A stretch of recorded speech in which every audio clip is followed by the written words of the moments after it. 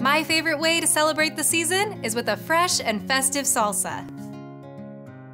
Hi, I'm Erin Good, a Hy-Vee registered dietitian. Today on Hy-Vee Healthy You, I'll show you how to take your holiday fiesta to the next level with my recipe for a flavorful cranberry jalapeno salsa.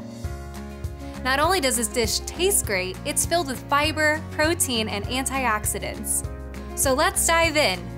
First, place a package and a half of fresh or frozen cranberries into your food processor, along with one cup of allulose zero-calorie sweetener. Then, cover and pulse until the contents are combined and pour the mixture into a medium-sized bowl. Cranberries don't contain any fat, cholesterol, or sodium, which make them perfect for a heart-healthy snack. While allulose is all natural and won't raise your blood sugar. Refill the processor with a half cup of fresh cilantro, chopped green onions, one chopped jalapeno pepper, a fourth of a cup of lime juice, a tablespoon of garlic paste, and a half teaspoon of salt. Blend the ingredients together, then stir them into your cranberry mix and move the bowl into the fridge.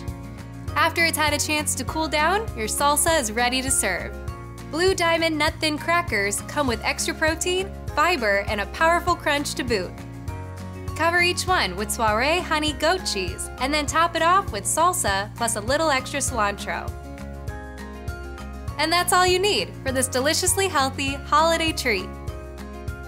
For more Hy-Vee Healthy You recipes, head to Hy-Vee's YouTube channel. And remember, you can always connect virtually with your local Hy-Vee dietitian at hyvee.com/health.